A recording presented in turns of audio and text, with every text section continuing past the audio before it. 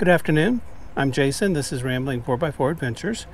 Today I want to talk about a cool little accessory thing for the Nissan Frontier that I didn't know about until I installed my rear view camera mirror.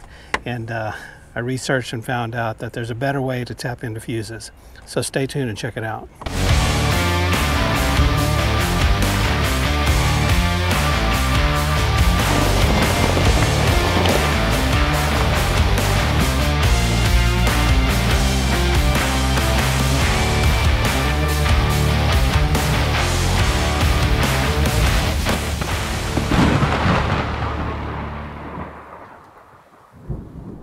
Okay, so today what we are going to go over is this Nissan Accessory Service Connector.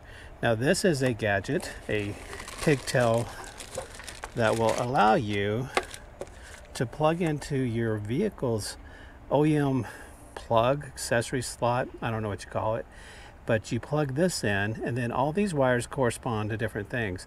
The main thing that I'm using it for is to run power to accessories that require, you know, a ground, an ignition, a battery source, and I can do that just with this inside the vehicle and I don't have to run any long wires, try to tap into any fuse boxes or anything like that.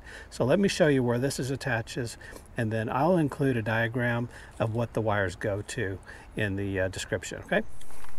The access to this plug is located behind this kick panel on the driver's side of the vehicle. You have this one little plug here you got to pop out. Okay, and that's the kind that snaps in. You have a top connector and then a bottom connector.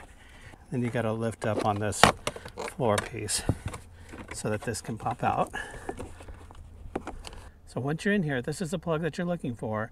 You just pop yours in and then run wires accordingly. Now, when I dug into mine yesterday, I found that it already had a plug in here. And if you have the light up little panels here in your Pro 4X, that is why that's there. So it's a dealer aftermarket installation and uh, it'll have that pigtail already. So that's a little FYI tip that I learned from a viewer and I appreciate that. And that's pretty much it. So basically just plug your wire in, run whatever accessory wires you want to it, hook it all up, and then you'll be all set that's it for now. So thanks for watching.